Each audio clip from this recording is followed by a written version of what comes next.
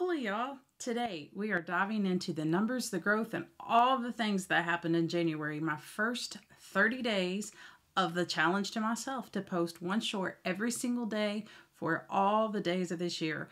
This year's leap year, that means 366 shorts.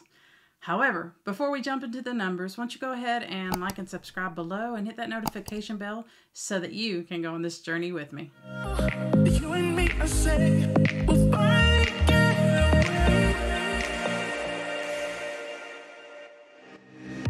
January's been a learning experience for me.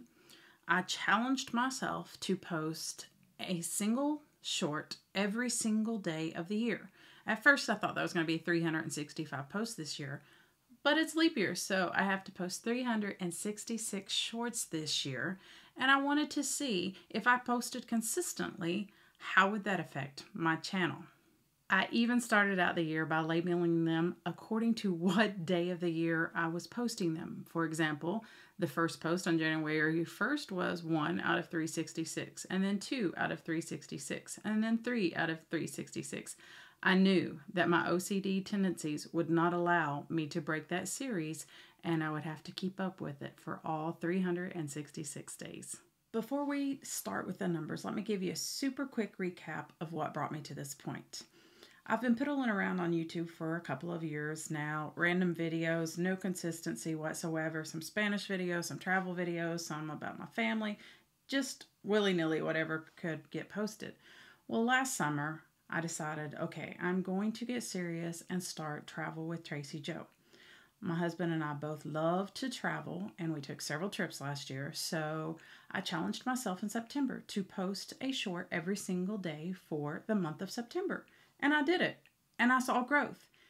And then I quit. That's not good. And you can see here that I was gaining momentum. I was gra grabbing subscribers. I was growing. And then after a couple weeks in October, when I had already quit posting videos every day, my subscribers stopped coming. And they did not come back until January or the very end of December when I started posting again. Consistency really is important if you want to grow your channel. I ended December of 2023 with 482 subscribers. We went on a trip at the end of December and I started posting a couple of things um, and it kind of got me back into it. So on January the 1st, I posted a video about a candy shop that we visited in Pittsburgh, Pennsylvania, and my goal to post every single day this year. Well, it got over 2,700 views, and I got nine subscribers from that. That definitely cemented my decision to post a short every single day, and it got me very excited about this challenge. Now, I really didn't have a number in my head for my goal of how many subscribers I wanted to reach this year. The only thing I knew I wanted was I wanted to reach 1,000 subscribers so that I can get monetized. Now, of course, I'm still going to have to get 4,000 watch hours for full monetization, or YouTube has a new program now where you can get some monetization at 3,000 watch hours. But halfway there, 1,000 subscribers, that gets me at least half of the um, formula that I need to, to earn some money this year. So maybe my goals will change as the year progresses. But all I knew for sure was that I wanted to reach a thousand subscribers, and I am seeing that I can definitely do that this year. So let's look at the results. How did I do in January? You can see I had 45,000 plus views. At the beginning, it was just kind of there, up and down. Some days better than other days, of course. Some days not much at all. And it kind of increased. The average increased says I gained 82 subscribers. So you can kind of see here, my goal with the shorts is to gain more subscribers. Of course, I want more views, but right now the goal with the shorts is to get subscribers. So I was achieving that. Pretty much flatlined here at the beginning. I posted the first day and then nothing. But then January 12th, so 12 days of posting, I started getting more and more views. There were some days I lost some. It happens, but I netted 82. But if you come up here and look at content, it shows you that I actually got 90 new subscribers. 90. And if I go over here to all, I actually have 90 new subscribers from shorts and one new subscriber from a video. So when I click more here under subscribers, it will show you your shorts, your videos, and other. I honestly don't even know what other is. I'll figure that one out.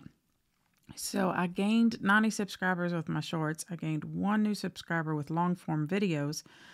But over the course of the month, I did lose nine subscribers. So that happens. And you can see these yellow dots. So some days I felt like, you know, it just kind of, I got one from a video, one from a short, and I lost one. So I still kind of netted one, I guess.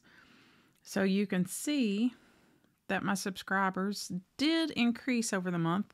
Then it went back down at the end of the month, Then it started to go back up again. So overall, I'm happy. When you think that I got 91 new subscribers over the course of the month, and I'm actually 82 subscribers um, further along in my goal to uh, 1,000 subscribers so that I can possibly get monetized soon.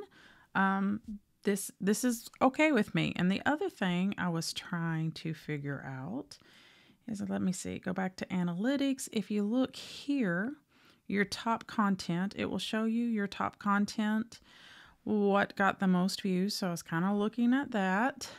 And when I came down here to go see more, it brings all this up. And I did filter it to content type. I just want to look at my shorts only, not my long form videos right now.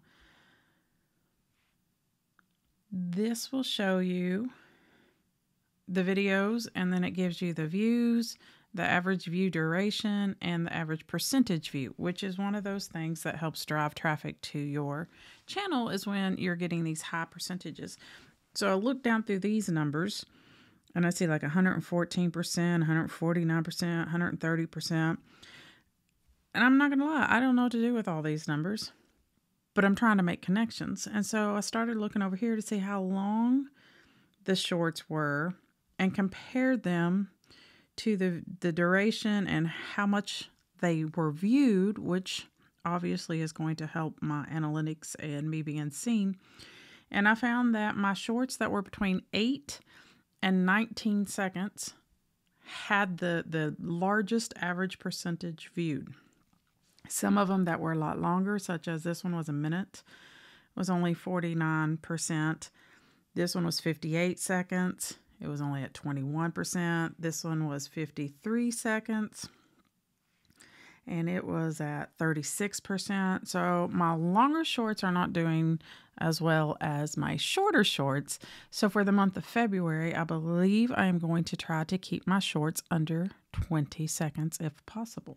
So that's January, my first 30 days of my challenge to post every single day this year and to see what happens. I hope to get more subscribers. So far, that's working. I am going to learn what works and doesn't work, such as I should have shorter shorts, I think. So this this next 30 days, I am going to be posting shorts between 8 seconds and 20 seconds, and we'll see if that ups my number of subscribers. Thanks for going on this journey with me, and I'll see you in the next 30 days.